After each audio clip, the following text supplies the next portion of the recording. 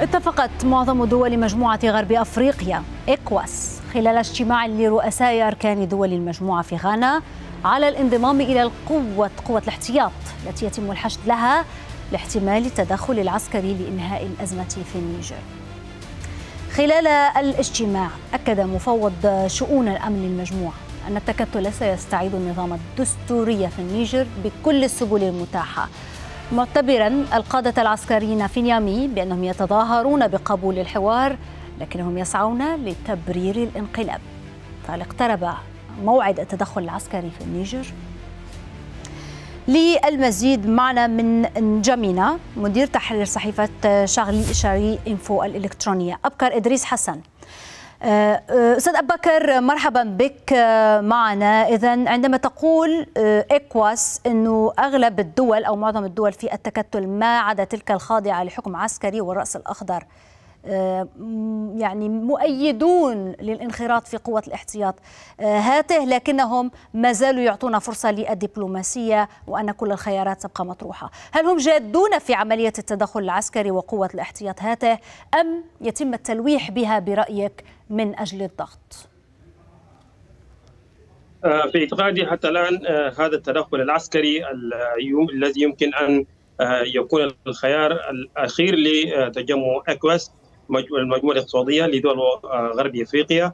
يعتبر حتى الآن تلويحا وليس بعملية ستقع على أرض الواقع في مقبل الأيام. لأن حتى الآن هم يعني يقولون هناك فرصة للحل الدبلوماسي. في اعتقادي أن معظم هذه الدول التي اتفقت أيضا بعضها يرجع إلى إلى البرلمانات حتى توافق هذه البرلمانات وتجيز التدخل العسكري خارج الحدود في بلاد أخرى. فبالتالي معظم هذه البرلمان لربما لم تصادق على المشروع الذي سيتم إرسال قوات خارج البلاد. على سبيل المثال نيجيريا التي رفض المجلس التشريعي يعني الحرب خارج بلادي. ثم إنه مثل بعض الدول كمثلا البنين وكذلك السنغال كذلك أيضا هذه الدول نجد أن السنغال لديها أزمة داخلية تكفيها من زيادة الأزمة داخل البلاد. بنين تربط علاقات يعني تجارية بين النيجر وهذا مما يسبب لها يعني أزمة اقتصادية في الدخل القومي للنيجيريين البنينيين. الأمر الثاني الايكواس حتى الآن هي يعني تريد أن تدخل لكن يعني تعرف أن هناك حجم التدخل العسكري وتداعياته على النيجر. خاصة إنما قام بعض النيجيريين ب يعني التبرع وتجنيد أنفسهم للدفاع عن وطنهم. فبالتالي هذه الشعوب أيضا تدافع عن وطنهم. ولربما هذه الشعوب تكون ضروع بشرية في نيامي. وبالتالي مثل هذه الأشياء أو الأسباب تجعل من الإكواس لا يمكن أن تقوم بالتدخل العسكري في النيامي. وذلك حسب ولكن إكواس كان لها تجارب في مهمات وتدخلات عسكرية على مستوى المنطقة في أكثر من مناسبة وأكثر من بلد وبالتالي لها تاريخ في هذه المسألة أو هذه النقطة. نعم نعم صح. آخرها كان 2014 في غامبيا وهذا التدخل السابق يعني ليس كما هو الآن لأن نيجيريا أو نيجر تربطها يعني سبعة دول مجاورة. ومعظم هذه الدول تعاني مشاكل أمنية ومشاكل يعني إرهاب وكذلك يعني حدود متداخلة وشعوب متداخلة وسكان متداخلون بين النيجر ونيجيريا وكذلك يعني مثلا الحدود التي بين تشاد ونيجيريا والنيجر.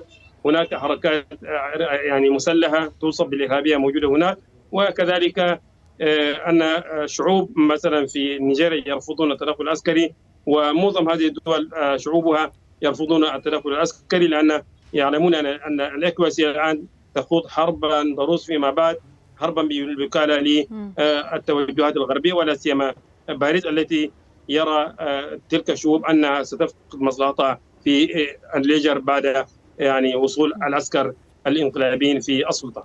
أستاذ ابو بكر طالما الاكواس كانت تؤكد على مسألة تدخل عسكري أو تلوح به مع التركيز على إعادة بازوم. اليوم اللافت أنه مفوض إكواس يتحدث عن استعادة النظام الدستوري في النيجر بكل الوسائل المتاحة دون إشارة إلى بازوم. هل يعني هذا أنه تغير في المواقف؟ خاصة أنه كانت تلميحات من المجلس العسكري على مرحلة مؤقتة واستعادة النظام الدستوري لكن بمعزل عن بازوم. هو صح تغير في المواقف لأن حتى الآن إكواس الآن في اجتماع اجتماع رؤساء الاركان في غانا قاموا ب يعني محاولة لتفعيل هذه القوى التي لربما تقوم بالعملية العسكرية.